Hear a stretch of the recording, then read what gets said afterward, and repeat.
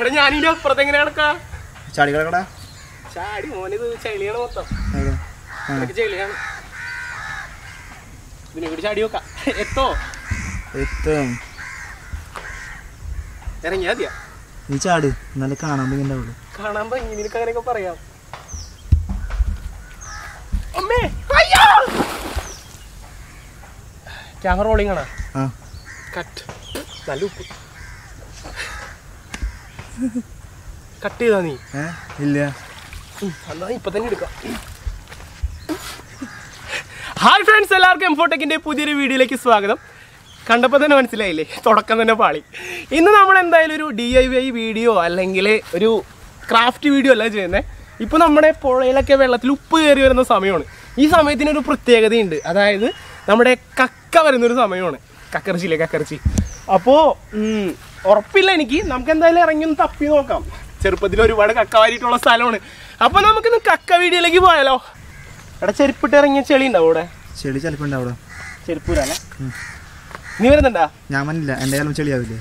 ഭീകര. ഞാൻ കണ്ടിരിക്ക അപ്പൊ ശരി. വെള്ളത്തിന് ആളുണ്ടെന്ന് എനിക്കറിയില്ല. എന്തായാലും ഇറങ്ങി നോക്കാം. മുമ്പൊക്കെ ഇറങ്ങിയപ്പോ ഇവിടെ ഞാൻ ഇറങ്ങിയിട്ടുള്ളതാണ്. ആ ഒരു വിശ്വാസത്തിന്റെ പുറത്തന്നെ ഇറങ്ങണേ. തണവുണ്ടാ പിന്നെ തണവുണ്ടാവില്ലേ? ദേ ആളെ നോക്കട്ടെ.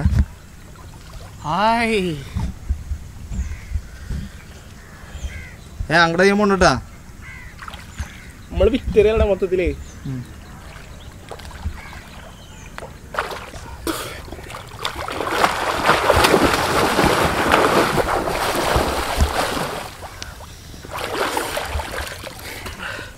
ഹായ് എങ്ങനെ തരാ. തരാനുണ്ടാ? കുഞ്ഞു കാക്കടാ കുറച്ച് വലിച്ചെറിഞ്ഞ്.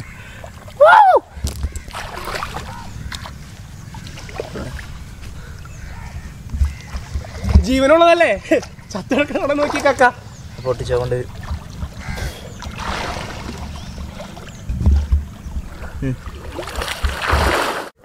ഓക്കെ ഫ്രണ്ട്സ് അപ്പോ ഏർ, വെള്ളത്തിന്റെ മുകളിൽ നിന്ന് നിങ്ങൾ കക്ക വരണ കണ്ടു അടിയിലത്തെ സിറ്റുവേഷൻ എന്താ ഞാൻ കാട്ടിത്തരാം.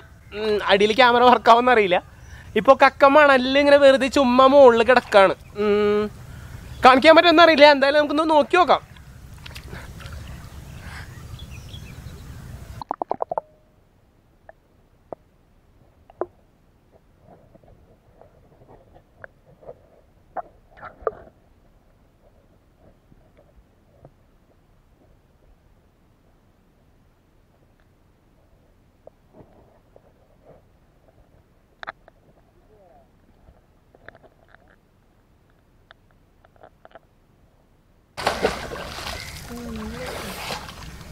എടാ ഇങ്ങോട്ട് വന്ന് നല്ല ആഴമുള്ള നിർത്തിയാലോ എന്തായി നിർത്താടാ. കുറച്ചൊക്കെ കിട്ടിയിട്ടില്ലേ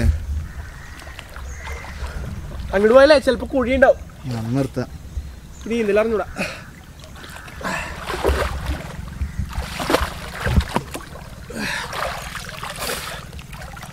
നാളെ ജലദോഷം പിടിക്കാവോ? മൂക്കിൽ വെള്ളം കയറിയുണ്ട്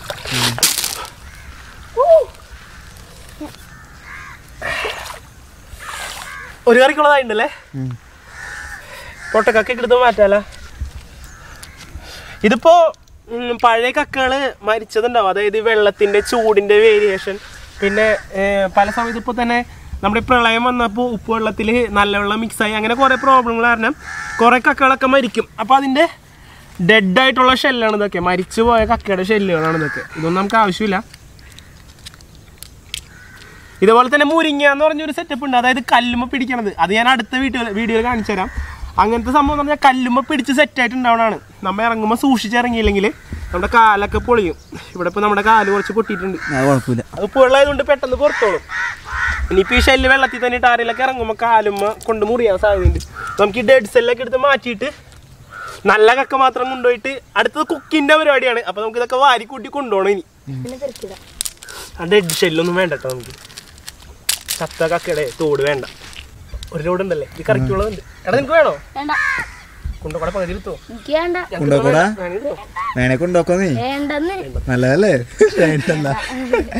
അപ്പൊ ശരി നമ്മുടെ കക്കവാറിൽ പണി കഴിഞ്ഞു. കാലൊക്കെ പൊട്ടിയാണല്ലേ തിരി വാരായിരുന്നു.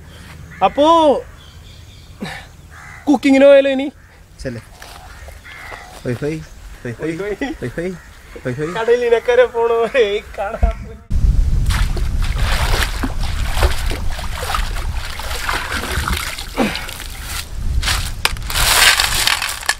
നമ്മുടെ കക്ക നമ്മൾ ഓർഡിനറി ആയിട്ട് ജസ്റ്റ് ഒന്ന് കഴുകി എടുത്തിട്ടേ ഉള്ളൂ. ഇനി ഒരു ഒന്ന് രണ്ട് തവണ നല്ല വെള്ളത്തിൽ കഴുകി എടുക്കണം ഇപ്പോൾ ടൈം ഉണ്ടെങ്കിൽ ഇപ്പോൾ ഒരു മൂന്നാൽ മണിക്കൂറൊക്കെ വെള്ളത്തിലിട്ട് വെച്ചാൽ അത്ര നല്ലതാണ്. ഇപ്പോൾ നമ്മൾ ടൈം ഇച്ചിരി കുറവായതുകൊണ്ട് ഇപ്പോൾ കഴുകി എടുക്കുകയാണ് ഇനിയിപ്പോൾ ഇത് ഒന്ന് രണ്ട് തവണ നല്ല വെള്ളത്തിൽ കഴുകി കഴിഞ്ഞിട്ടുണ്ടെങ്കിൽ അടിപൊളിയാവും.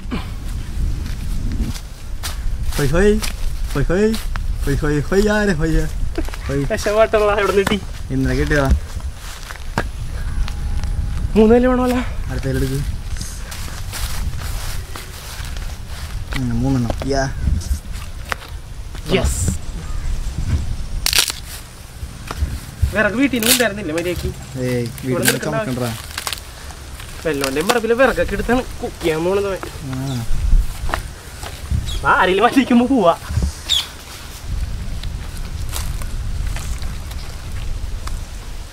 തീ പിടിയോ keep it being cats.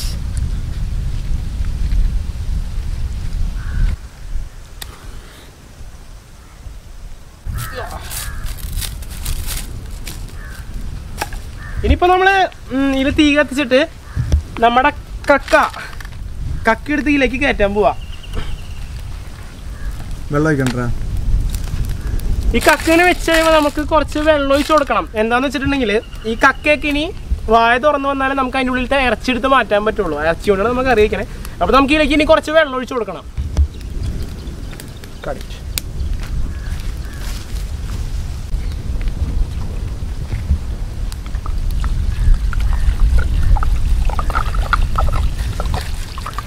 ഇതിപ്പോ നിറച്ചൊന്നും വെള്ളം ഒഴിക്കണ്ട. നമുക്ക് ജസ്റ്റ് ഒന്ന് ആവി അടിച്ചാലേ ഇതിന്റെ വായ തുറന്നു വരുള്ളൂ.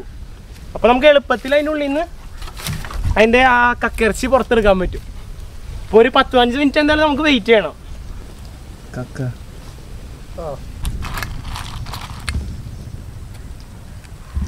ഇപ്പൊ നമ്മുടെ കക്കയൊക്കെ ഇതേ ഒരുവിധം വായ പൊളിച്ചു തുടങ്ങി. വായ പൊളിച്ച് ദേ ഒരു ഇറച്ചിയുടെ കഷ്ണം കണ്ട. ഇതേപോലെയാണ് കക്ക ഇറച്ചി ഉണ്ടായിട്ട് അതിന്റെ ഉള്ളിൽ നിന്ന് എടുക്കുന്നത്. കുറച്ചു നേരം കൂടി എന്തായാലും വെയിറ്റ് ചെയ്യണം. ഇപ്പൊ ഒരുവിധം എല്ലാം വായ പൊളിച്ചു തുടങ്ങിയെങ്കിലും ഒരു പകുതിയോളം ഇപ്പോഴും വായ തുറന്നിട്ടില്ല. തുറക്കാത്ത? അങ്ങനൊന്നും ചോദിക്കരുത് എനിക്കറിയില്ല.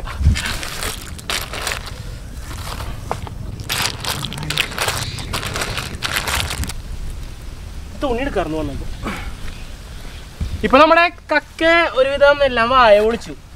ഇനി നമുക്ക് ചെയ്യാനുള്ളത് എന്താന്ന് വെച്ചിട്ടുണ്ടെങ്കിൽ ഇപ്പൊ ഈ കക്കയുടെ ഉള്ളിൽ നിന്ന് ഈ തുറന്ന ഷെല്ലുകളുടെ ഉള്ളിൽ നിന്ന് ഇറച്ചി എടുത്ത് മാറ്റിയെടുക്കണം. ആ ഇറച്ചിയാണ് നമുക്ക് കറി വയ്ക്കാനുള്ളത് അപ്പൊ ഇനി നമുക്ക് ഇറച്ചി കുത്തി പുറത്തെടുക്കാം. ഇതിലൊന്നുമില്ല. ഓക്കെ അപ്പോൾ നമ്മൾ കക്ക പുഴുങ്ങി കഴിയുമ്പോൾ ഇതുപോലെ ഒരു സൈഡിൽ ഇറച്ചി വന്നിരിക്കണ്ടാവും അപ്പോൾ നമുക്കൊരു കോലെടുത്ത് ഇങ്ങനെ തട്ടി കഴിഞ്ഞിട്ടുണ്ടെങ്കിൽ നമുക്കിങ്ങനെ കോ ഇതിലേക്ക് ഇടാൻ പറ്റും. ഇപ്പോൾ ഒരുവിധം തണുത്തിട്ടുണ്ട്. നമ്മളിപ്പോൾ പുഴുങ്ങിയെടുത്ത് വെച്ചിട്ട് കുറച്ച് നേരമായി ഇനിയിപ്പോൾ ഇതെല്ലാം പൊളിച്ചെടുക്കണത് പോലെ. ഇപ്പോൾ നമുക്ക് കടയിൽ നിന്ന് വാങ്ങുകയാണെങ്കിൽ എളുപ്പത്തിൽ ഇറച്ചിയായിട്ട് വാങ്ങാൻ കിട്ടും. പക്ഷേ നമ്മൾ പിടിച്ചു കഴിഞ്ഞിട്ടുണ്ടെങ്കിൽ പൊളിച്ചേരി എടുക്കണം. ഇപ്പോൾ ഒരുപാട് കക്ക ഉള്ളതുകൊണ്ടേ ഒറ്റയ്ക്ക് പൊളിച്ചു കഴിഞ്ഞാൽ തീരാൻ ടൈം എടുക്കും. അപ്പോൾ നമ്മുടെ കൂട്ടുകാരൻ അനന്ത് കൂടെ കൂടിയിട്ടുണ്ട്. അപ്പോൾ എന്നാലും ഇത് എപ്പോൾ കഴിയുമെന്ന് അറിയില്ല. എന്തായാലും കുറച്ച് ടൈം എടുക്കും. ഇപ്പൊ നമ്മുടെ കക്കറച്ചി ഒരുവിധം നമ്മൾ ക്ലീൻ എടുത്തു അതിന്റെ ഉള്ളിൽ നിന്ന് ഇനി ഇതിന്റെ ഉള്ളിൽ നമുക്ക് ക്ലീൻ ചെയ്യാനുള്ളൊരു പരിപാടിയുണ്ട്. അതായത് ഇപ്പോൾ ഒരു കക്കർച്ചി എന്ന് പറയുമ്പോൾ ഇങ്ങനെയാണ് ഇരിക്കുക അത് നമുക്ക് അതിന്റെ ഈ ഒരു ബ്ലാക്ക് ഷെയ്ഡ് കാണുന്ന ഭാഗം ഇങ്ങനെ ഒന്ന് ഞെക്കി കഴിഞ്ഞിട്ടുണ്ടെങ്കിൽ അതിന്റെ ഉള്ളിലുള്ള വേസ്റ്റ് നമുക്ക് പുറത്തെടുത്ത് കളയാൻ പറ്റും. ആ വേസ്റ്റ് നമ്മൾ കഴിക്കാൻ പാടില്ല. എന്താണെന്ന് വെച്ചിട്ടുണ്ടെങ്കിൽ അത് കഴിച്ചിട്ടുണ്ടെങ്കിൽ വയറുവേന അങ്ങനത്തെ പ്രോബ്ലങ്ങളൊക്കെ ഉണ്ടാവും. പക്ഷേ നമ്മൾ കടയിൽ നിന്നൊക്കെ വാങ്ങിക്കുമ്പോൾ അവർ പറയും ജസ്റ്റ് ഒന്ന് വെള്ളത്തിലിട്ട് നല്ലോണം കഴുകി എടുത്താൽ മതി എന്ന് പക്ഷേ നല്ല ക്ലീനായിട്ട് കളഞ്ഞില്ലെങ്കിൽ നമുക്ക് കഴിക്കുമ്പോൾ ചിലപ്പോൾ വയറുവേനയ്ക്ക് എടുക്കാൻ സാധ്യതയുണ്ട്. ഇത് നമുക്ക് വേസ്റ്റാണ് കള കളയേണ്ട ഒരു പോഷൻ തന്നെയാണ് അത്. അപ്പോൾ അത് കളഞ്ഞെടുക്കണം. അത് കളയലും ഇതുപോലെ തന്നെ ചെറിയൊരു പണിയാണ്. ഇപ്പോൾ നമ്മുടെ കക്കൊക്കെ ക്ലീൻ ചെയ്ത് കഴിഞ്ഞെങ്കിലും നമ്മൾ ഒന്ന് രണ്ട് തവണ കഴുകിയെടുക്കണം. എന്താണെന്ന് വെച്ചിട്ടുണ്ടെങ്കിൽ ആ വേസ്റ്റ് പോയാലും ഒരു നമുക്കിപ്പോൾ കാണാൻ പറ്റും വെള്ളത്തിൽ ഒരു വെള്ള കളർ വരുന്നത്. നമ്മൾ നല്ലോണം കഴുകി വെള്ളം നല്ല തെളി വെള്ളമാവുന്ന വരെ ഒന്ന് എടുത്തു കഴിഞ്ഞിട്ടുണ്ടെങ്കിൽ അതിൽ നന്നായിട്ട് വൃത്തിയാവുന്ന പറയാൻ പറ്റുള്ളൂ.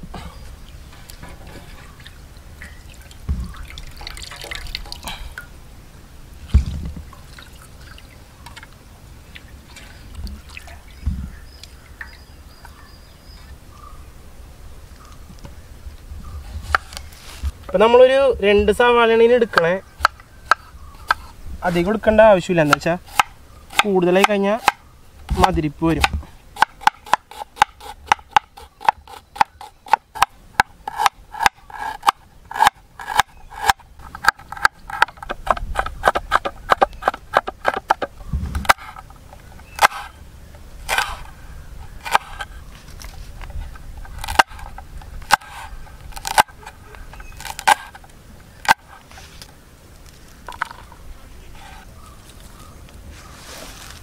അപ്പൊ നമ്മൾ പാത്രം വെച്ചു.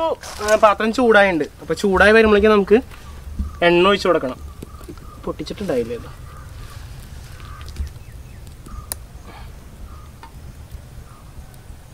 നമുക്ക് സവാള മാറ്റാൻ വേണ്ട എണ്ണ മതിയായിരുന്നു ഇനിയിപ്പോ എണ്ണ ചൂടായി വന്നിട്ടുണ്ട് ചൂടായി വരുന്ന സമയത്ത് നമുക്ക് നമ്മുടെ ഇഞ്ചിയും വെളുത്തുള്ളിയുടെ നമ്മ കൊത്തിയരിഞ്ഞ് വെച്ചിട്ടുണ്ടായിരുന്നു. അതൊന്ന് ഇട്ട് കൊടുക്കുക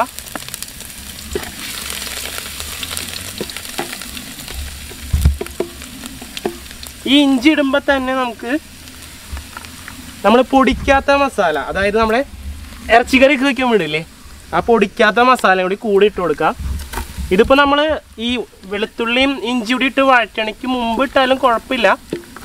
ഇതിപ്പോൾ രണ്ടും ഒരുമിച്ചിട്ട് നമുക്ക് വഴറ്റിയെടുക്കാം. കുഴപ്പമൊന്നുമില്ല.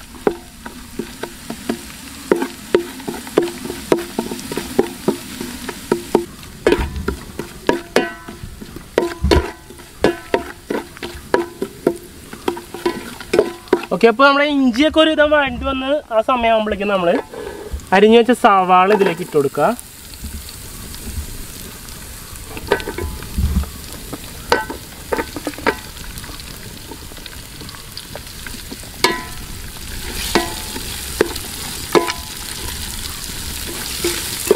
ഇനി നമുക്ക് ഈ സവാള വഴണ്ടി വരുന്ന വരെ വേറെ ഒന്നും ചെയ്യാൻ പറ്റില്ല.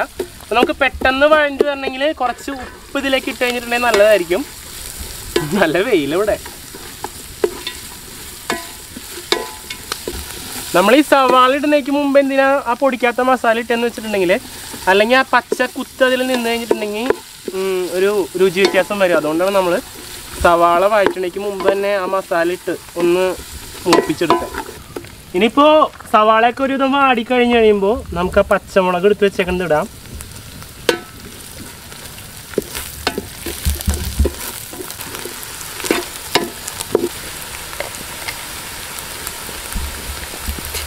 ഇപ്പോൾ സവാള ഒരു വിധം വഴണ്ടി ഇനി നമുക്ക് നമ്മുടെ പൊടി ഐറ്റംസ് ഒക്കെ ഇട്ട് കൊടുക്കാം. അപ്പോൾ ആദ്യം മല്ലിപ്പൊടി ഒരു മൂന്ന് സ്പൂൺ മല്ലിപ്പൊടി ഇടാം. അതുപോലെ തന്നെ മുളക് പൊടി. അതൊരു രണ്ട് സ്പൂൺ ഇട്ട് കൊടുക്കാം.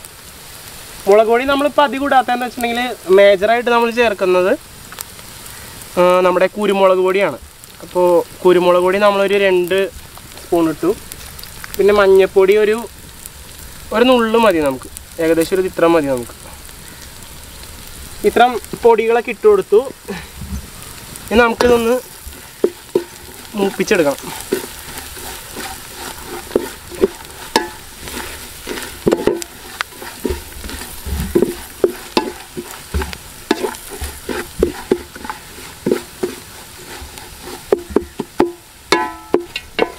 ഓക്കെ അപ്പോൾ നമ്മളിട്ട മസാലയൊക്കെ ഒന്ന് മൂത്ത് വരുന്ന സമയത്ത് നമ്മൾ എടുത്തു വെച്ചിരിക്കുന്ന ആ കക്കിറച്ചി ഇതിലേക്ക് ഇട്ട് കൊടുക്കാം.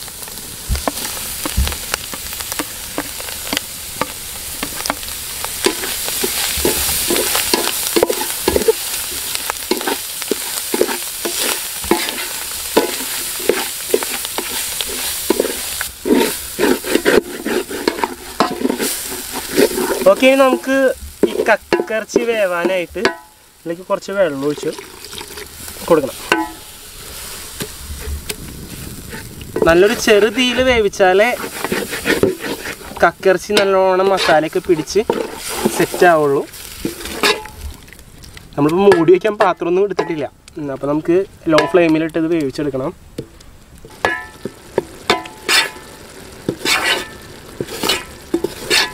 ഇപ്പോൾ കക്കിറച്ചി നല്ലോണം തിളച്ച് വന്നിട്ടുണ്ട്. അപ്പോൾ നമുക്ക് ഈ സമയത്ത് കുറച്ച് ആവശ്യമുള്ള ഉപ്പ് ഇട്ട് കൊടുക്കാം. ഉപ്പിന്റെ അളവ് നമുക്ക് പറയാൻ പറ്റില്ലല്ലോ. അത് നോക്കിയും കണ്ടും ആവശ്യത്തിന് ഇട്ട് കൊടുക്കാം.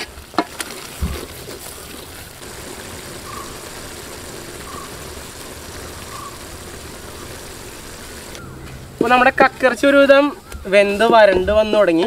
ഈ ടൈമിൽ നമുക്ക് കുറച്ച് കുരുമുളക് പൊടി അതിന്റെ മുകളിൽ ഇങ്ങനെ ഇട്ട് കൊടുക്കാം. പച്ചക്കുരുമുളക് പൊടി.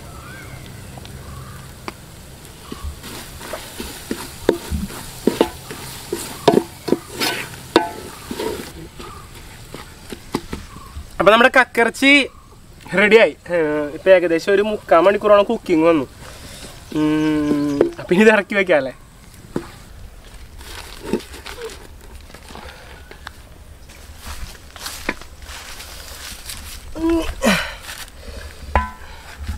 ഇനി നമുക്കിതൊരു പാത്രത്തിലേക്ക് മാറ്റണം. ഒരു പാത്രം എടുത്തു വന്നേ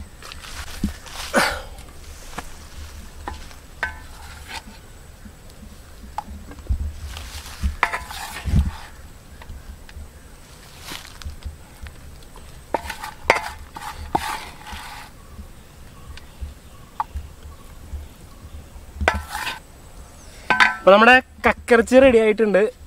ഇനി ഇത് കഴിച്ചു നോക്കേണ്ട ഒരു പരിപാടി കൂടി ഉണ്ട്. കക്കിറച്ചിക്ക് ഏറ്റവും നല്ല കോമ്പിനേഷനാണ് അപ്പം. നല്ല വെള്ളയപ്പവും കക്കിറച്ചി കൂടി കഴിച്ചിട്ടുണ്ടെങ്കിൽ നല്ല നാവിന്ന് വെള്ളം വരും. അപ്പോൾ ഇനി നമുക്ക് വെള്ളയപ്പം വാങ്ങാൻ പോകേണ്ട പരിപാടി കൂടി ഉണ്ട്. കട്ട് ചെയ്തോ?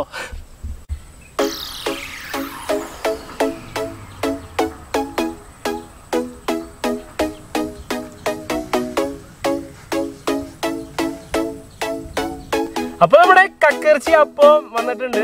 ഇത് അപ്പം ഇത് കക്കർച്ചി ഇത് കക്കർച്ചി ഇത് അപ്പം. ഇനി ഇത് കുറച്ച് കറി എടുത്തിട്ട് നമ്മൾ ഈ കക്കർച്ചിയുടെ മുകളിലേക്ക് ഇങ്ങനെ ഇട്ട് കൊടുക്കാം. അപ്പം നല്ല മണം വരുന്നുണ്ട്. നല്ല വരട്ടിയ കക്കർച്ചിയുടെ മണം. അത് കഴിഞ്ഞിട്ട് അപ്പത്തിൽ നിന്ന് ഒരു കുഞ്ഞി കഷ്ണം കീറി എടുത്തിട്ട് കക്കയുടെ മുകളിൽ ഇങ്ങനെ വയ്ക്കുക ഇതേപോലെ ഒരു കഷ്ണം കൊടുക്കുക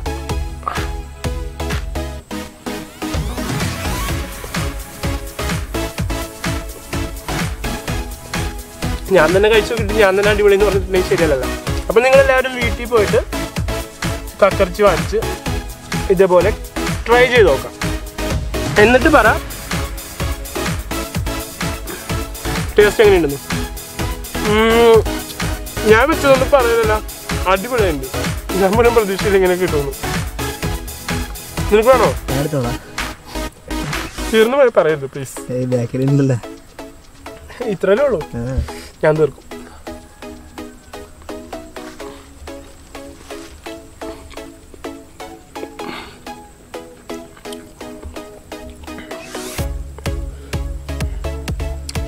ആ കാട്ട് ആ ആ ആ ആ ആ.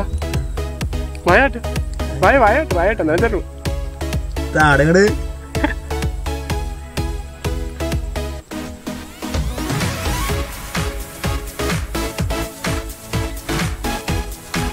നല്ല എരി ശരിക്കും ആ കുരുമുളകിന്റെ ഫ്ലേവർ ശരിക്കും എടുക്കാറിയാം.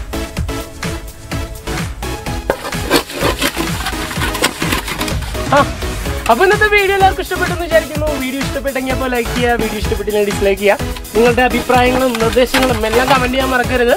പിന്നെ ഇതുപോലത്തെ വീഡിയോസ് ഇനി ലഭിക്കാൻ എംപോട്ടെക് യൂട്യൂബ് ചാനൽ ഇതുവരെ സബ്സ്ക്രൈബ് ചെയ്യുക സബ്സ്ക്രൈബ് ചെയ്യുക ഇതിലും നല്ല വീഡിയോസ് നമുക്ക് വീണ്ടും കാണാൻ മതിയായിരിക്കും camera ചന്ദ്രവിനോടൊപ്പം. It's me Jio Joseph signing out